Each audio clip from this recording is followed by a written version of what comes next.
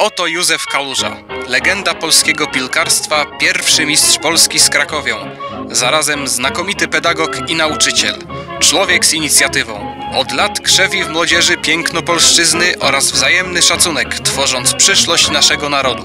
Wieść gminna niesie, że podczas meczu z białostocką Jagiellonią uczniowie będą mogli odbierać pasiaste artykuły szkolne.